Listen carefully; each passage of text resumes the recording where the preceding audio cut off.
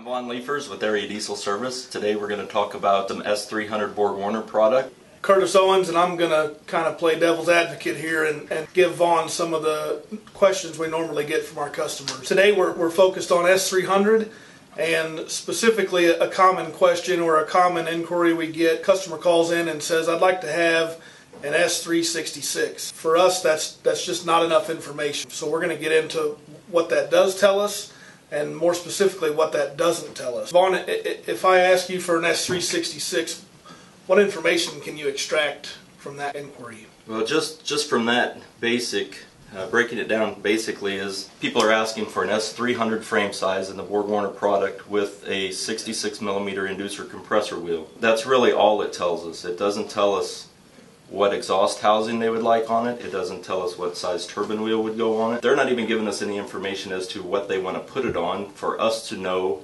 if it's the right application for the vehicle in the first place. A lot of times it's probably not what they want, but that's what they've heard and their buddies got, so that's what they think they need. So the 3 in 366 is the, the frame size. So S200, S300, S400. This is all S300. These are actually all could be considered S366s. Specifically, what is the 66? The 66 part is the millimeters of the inducer of the compressor wheel. So on the small diameter of the compressor wheel is the inducer. Most of the people in the aftermarket world talk about the inducer size, although the engineers at Borg Warner talk about the larger diameter, the back face of the compressor wheel. They're more worried about do they have enough horsepower from the turbine wheel to turn the size of compressor wheel. So most of the time you'll find that it's got the 80 millimeter turbine wheel with this 66 millimeter inducer compressor wheel. Um, although some applications that may um, not work perfectly for their engine.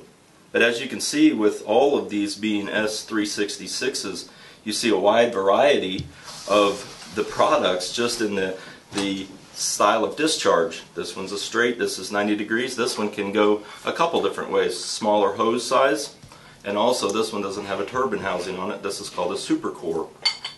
So just in the S300 line, we just particularly chose the 66 millimeter to talk about today. So a few years ago, these were kind of the go-to S366. These were factory fit to John Deere applications. I think 6081, 81 liter John Deere engines. You know, this was always the, the Mustang turbo or a guy's got his, his pickup turned up a little bit and needs something a little bigger. The sales of those got, got to be so good and they left just a little something to be desired and that was really the the Evolution. factor. Yeah, that created the the SXE, which is the new um, performance-oriented S300. So forever, when when we sold this, it came with the the factory turbine housing, which never seemed to be right.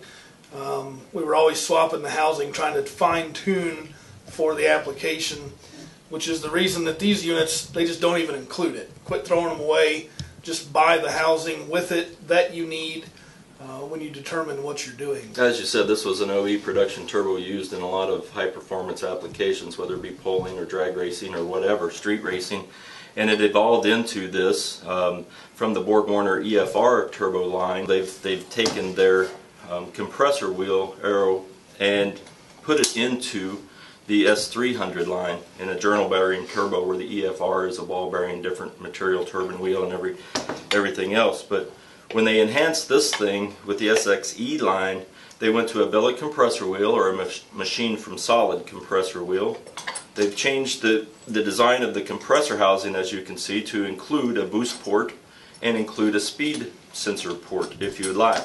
Now neither of these holes are through drilled from the factory but there are instructions to um, how to drill these holes out to make them active if you so choose to use them.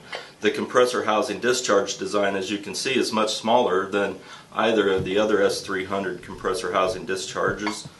It's also made whereas you could cut this hose barb off of the end of this or machine it off and have a V-band flange on the end where then you could put a different elbow or an adapter onto the end of it such as something like this you could go to on this thing to now you have your 90 degree elbow similar to this turbo that was made for the John Deere application but all the robustness in those um, met all OE requirements and stringent testing and everything that Borg Warner has done. But when we push it a little bit further in the performance world, um, sometimes thrust was is- an issue because of an imbalance of the wrong housing or, or um, just the application in general. So Over they speed to death. they also um, incorporated in these SXE turbochargers in the whole line, uh, not just S300s, but um, they went to a 360 degree thrust bearing, which is uh, obviously 360 degrees worth of thrust pads versus the 270 degree thrust pad area in there. So therefore, they had to change a few of the internal components as well when they did that. There's also different turbine wheel designs as well as different compressor wheel sizes in the supercores and these, but that doesn't make them the 60, the S366. So uh, that's why we specifically chose these. But you can also see in the turbine wheel designs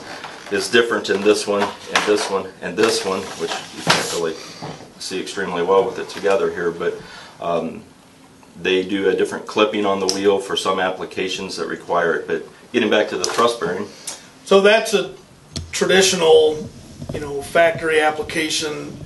We call that a 270 degree thrust bearing. So the thrust control in the turbo, this is what is keeping the axial play in spec. And this is under a great deal of force, and even more so when you start to run these outside of optimal conditions.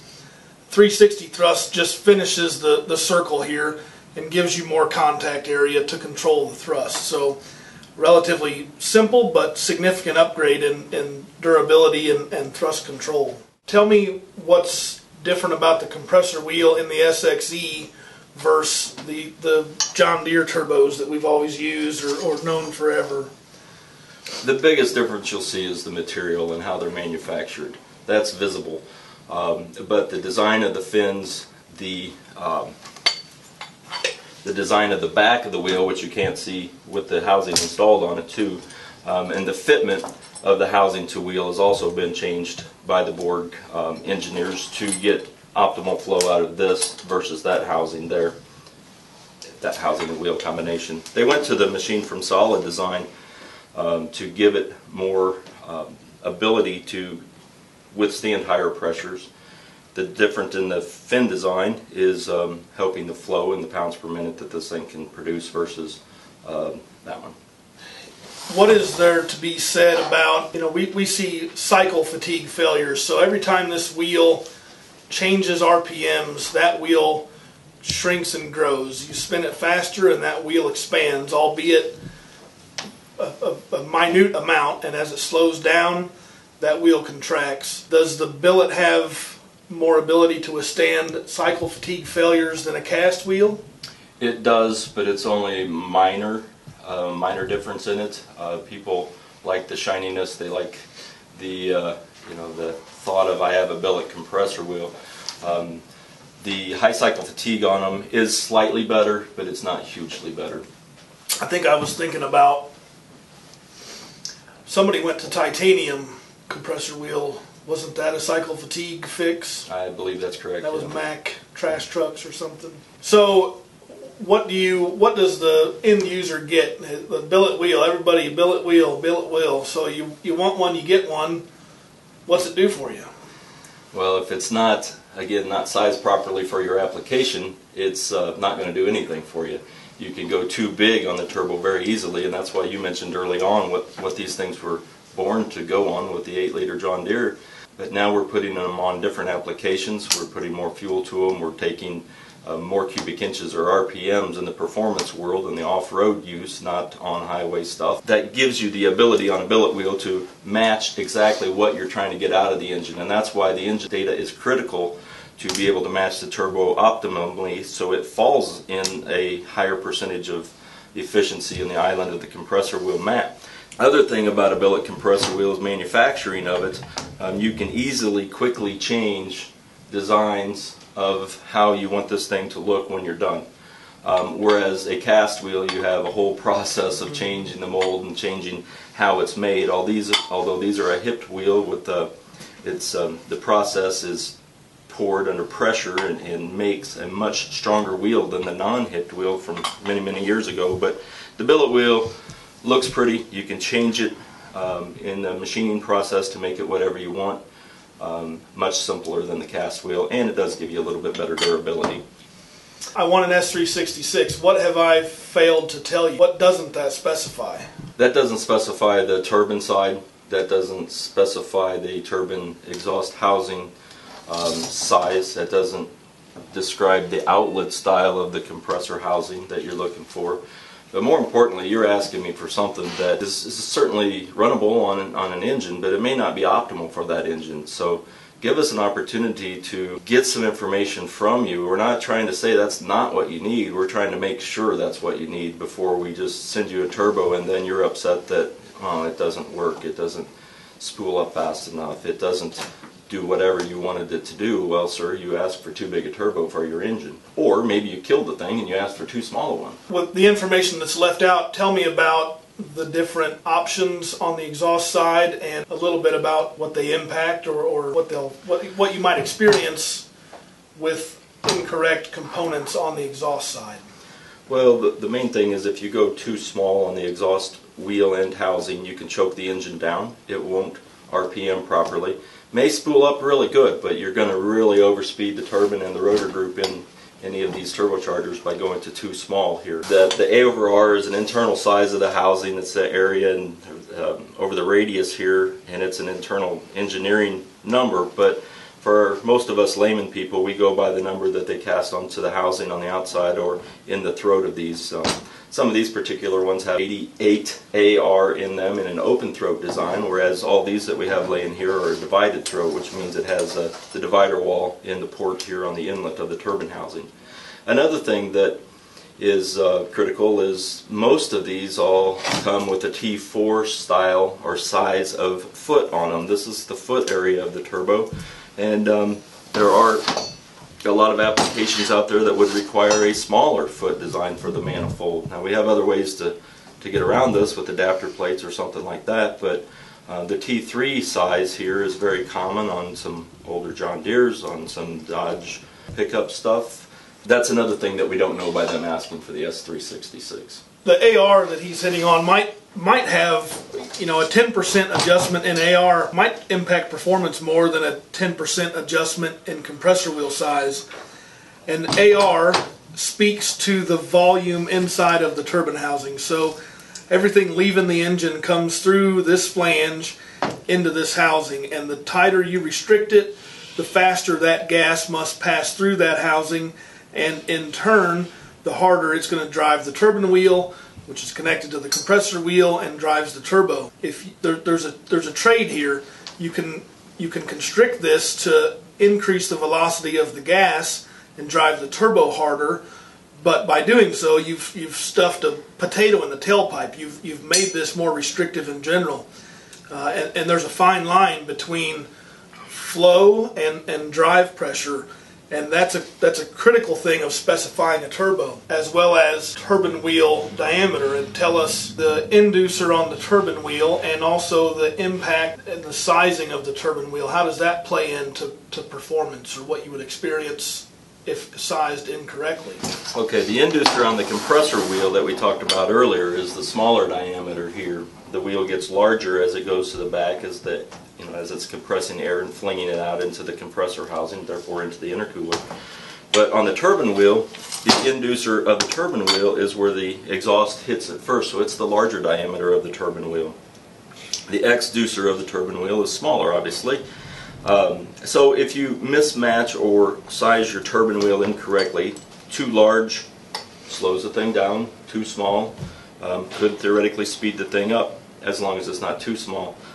One thing that you run into with turbine housings and turbine wheels matching it to an engine is you got to consider the whole RPM range and where you want this thing to do its work. Where do you want it to come in or spool up or start feeling it from the seat or whatever. So you can size turbine wheel, you can size the clip of the wheel, you can size the AR of the housing. Um, but what you got to do is the fine line that you were speaking of is, is, match it to the engine in the range that you want it to work. Now, what has been done many years ago, they went to a very um, innovative technology back in the day with the wastegate on it. Um, that was driven by emissions, and what it does is it allows the engineers to go to a smaller AR turbine housing, which will speed up this wheel faster and get you up to boost pressure. But then you run the risk of this thing going into overspeed by a fixed geometry housing where you can't change anything about it. This you can go you can go tighter in here, spools it up faster, but now we have this wastegate that will open a dump valve or wasting the exhaust off, bypassing the turbine wheel and exiting the housing, therefore maintaining the ideal rotor speed for the turbocharger. Yeah, it's got a it's got a really bad name in the industry, and everybody wants to block it off or crank it closed or get rid of it. And they shouldn't have they shouldn't have used the word waste. They should have called it a, a turbo saver uh, because that's that's really what it's doing. It's preventing overspeed. You get the attributes of a small housing, uh, good throttle response, or, or quick spool, and then when you start really flowing lots of exhaust, more than the turbo can handle, open the valve, bypass around the turbine wheel, slow your turbo down so you don't overspeed and, and ultimately explode or, or damage the Det- turbo. Detrimental damage to turbo and engine, perhaps. So I've, I've, I've called you. My buddy said I need an S366. Your, your wheels start turning. What else? What are you going to ask me? What do I need to know to give to you to get to the right place? Well, I have to tactfully convince you that, uh, or convince myself that that's the right thing um, by asking you questions. And although that's what your buddy has and that's what he says you need, do you have the same injectors in your truck? Do you do the same load as he's doing? Do you pull the same uh, trailer or, or whatever? So there's a lot of things that I'm going to try to extract from the customer without trying to belittle the customer as to uh, the customer's always right until he's not, and then he's unhappy with us. So um, I try to help the customer into the fact that let's find out if that's the best thing for your truck. So it's it's what do you have? What are you looking to go to? Yeah, what's your horsepower goal? And then what's your application? Are, are you getting groceries? Are you pulling a fifth wheel? Are you doing a little bit of both? Are you, uh, you- you know, we always get, well, I want good fuel mileage, and uh, I mostly uh, take the kids to soccer, but then about five times a year I hook to a sled, and I also drag race, and I need something that's perfect for everything, and, and there just isn't. You can pick a happy medium and not be very good at any of them, but be functional for all of them, or you can focus on one and be good there and be bad at the others. I mean, that's that's an everydayer. Is is I need to do five different types of applications and I need one charger. We just can't get you perfect in all of them. You really need five chargers in that need- situation. or to- five trucks, to hit yeah. uh, to hit everything perfectly there. We've kind of talked about turbos and making sure that they're right for the engine, but some of the things that we have. Um, in addition to just turbocharger parts, is we have some accessories to help you mount these things to the engine. So if your exhaust won't hook up to these particular outlets, we have various types of flanges that can go on there um, that will mate up with the Marmon flange and be held on by a V-band clamp. Other people don't like these particular things. We make um, we make a sleeve in our machine shop back here that will made up, still be held on by V-band clamp that you can weld a four-inch pipe onto. Um, we make them in various sizes for three and a half inch up to five inch exhaust if you like, that still connect onto these style of turbine housings. And in some of the other housings, there's different outlet designs, and we make flanges for that as well. We make different couplings for the different types of turbochargers if you're building plumbing to go to your intercooler. So we're trying to help you fit this thing to your race application or to your pulling application um, by making all kinds of different adapters and fittings and flanges and stuff to help make it go on. Okay, I need one. How do I how do I get a hold of you? How do I reach out to you? Well, you can certainly call our 1-800-637-2658 phone number. That number does ring in all three of our locations in Carlinville, Illinois, Indianapolis, and in Des Moines, Iowa store, so that we have representatives standing by at any of those locations to answer your call. The other thing you can do is go onto our website and you can do some research. If we decide upon a particular part number, or in this case, part numbers, um, you could go to our website at shopareadiesel.com and order them online. All right. Thank you, Von. Yep.